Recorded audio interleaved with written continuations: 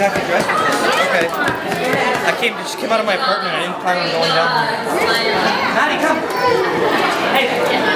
Oh, you miss him, eh? If you're taking off their costumes, that's okay.